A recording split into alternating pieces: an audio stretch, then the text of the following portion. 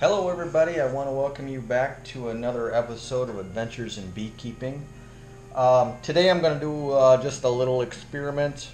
Um, we've been talking a lot on the forums and stuff like that about, uh, oh, uh, packages coming with queens without candy, people opening the cork ends, and uh, having the queens fly off. Uh, not being prepared, uh, you know, usually suppliers have one end of, is a candy, one end is the cork. Well, they both have both ends have cork. One is just a corked end that'll just free release, and the other one is candy end. Uh, but apparently, uh, many are coming from California and have been for some time uh, with a cork and an end and zero candy. Have no idea why suppliers are doing this. Uh, saving a penny uh, doesn't bother some of the more advanced beekeepers, uh, but if you're a first-time beekeeper and you've been watching videos and reading books, and they talk about uh, you know opening the cork and and, uh, and and letting the bees chew through the candy, and you pop the cork open, expecting there to be candy, and guess what? No candy. Your queen flies off, and you're pretty much uh, out of luck. Uh, so um, today I'm just doing a little experiment of my own. Um, and uh, I'm gonna make my own candy. And a lot of people say you can use marshmallows, but uh, bees can th- chew through that pretty good. So what I'm gonna do today is uh, is make a little uh, of my own candy, which is generally what what most people use, which is uh, made out of uh, confectionery sugar, confectionery powdered sugar, so just powdered sugar for short. And instead of um, corn syrup, using corn syrup, I'm actually going to try to use a little bit of my own honey. Um, and the reason I do that is, I mean, just giving it giving it a shot. This is honey from my own bees. I know it's good.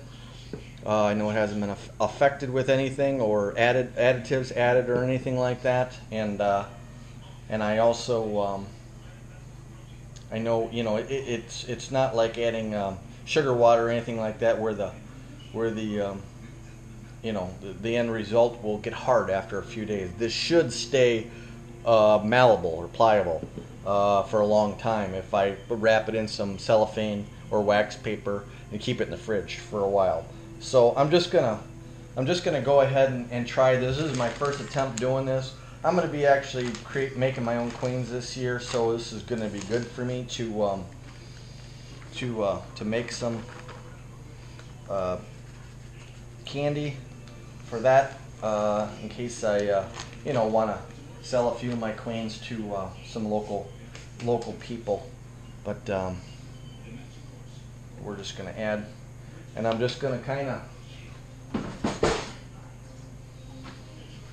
go through and um, add honey as needed here and uh, see how it um, see how it works. I don't know how much sugar, I'm not sure how much honey, but um, we're going to kind of mix this in and kind of see where we're at in the end. We're going to try to get it to a consistency where it's pliable, malleable, but not too too sticky. That's what we're really looking for. I'm going to just pour a little bit more of this in there. My honey was thick. I, I did a refractometer on it. I think it came out to about 15% uh, moisture content. So, uh,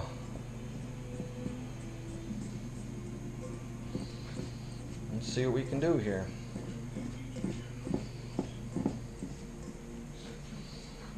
I'm just going to show you what's going on here.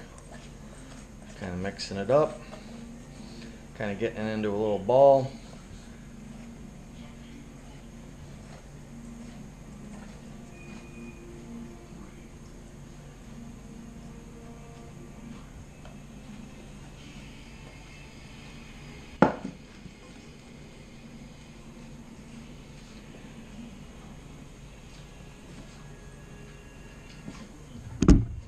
Whoop.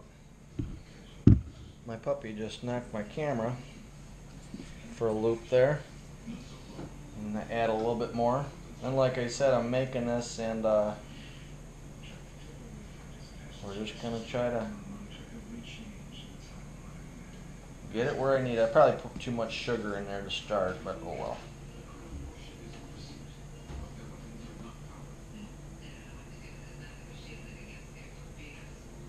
Okay.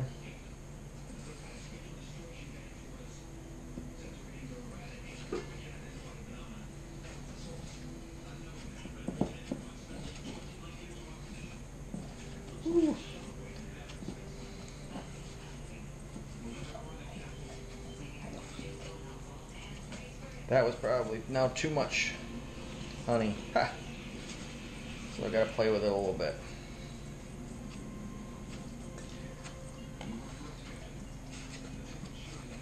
Right now, it is pretty sticky stuff, but uh, I'm working more and more of the sugar into it.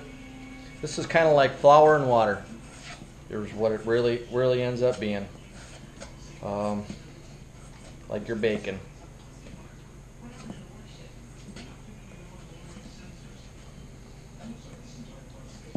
And the then this and this actually is you know probably more than the average person is really going to need. Uh, you know, if you only got two or three queens that came in with packages, you know, you probably need, you know, this much candy for those three or so. But uh, we're getting really to the to the uh, consistency that I want to see here for it.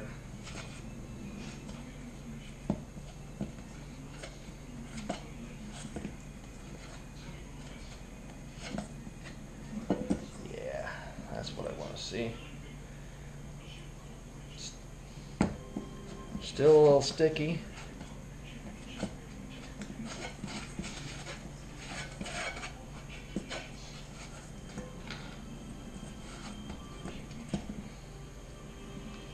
I'm just going to add just a little bit more sugar.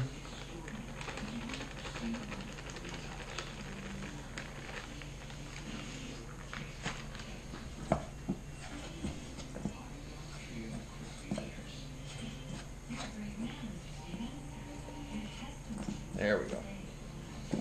Now we're getting somewhere.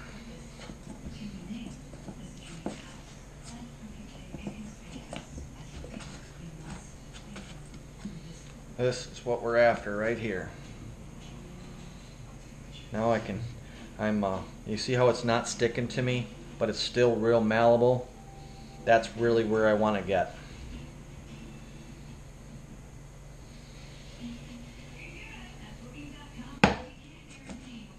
To soak up a little bit more of this, a little bit more of this powdered sugar. It's not too messy of a job, doesn't take too long.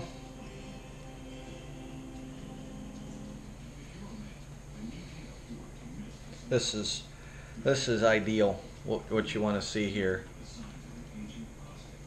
It's just barely a little sticky. Just to add just a little bit more the sugar to it. But this is probably, I probably got enough here to do a dozen queens or more, I'm going to guess.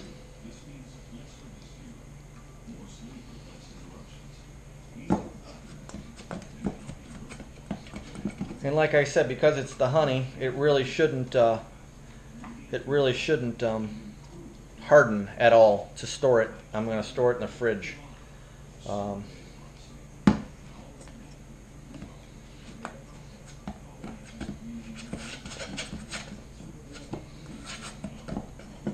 yeah, beautiful.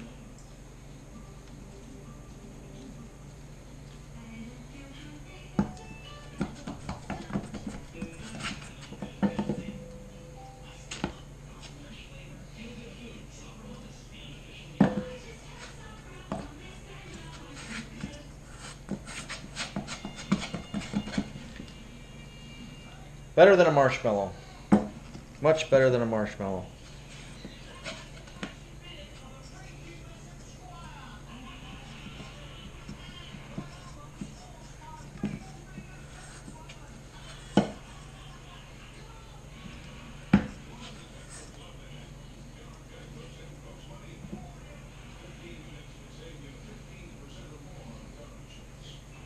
And as I'm working it, that's actually getting a little bit more sticky.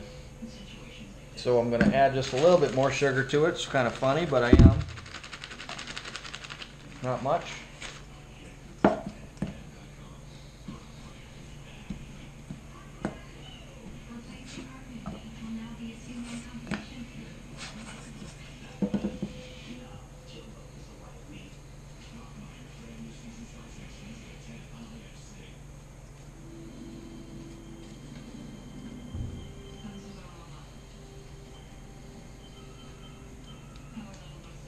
That's perfect right there.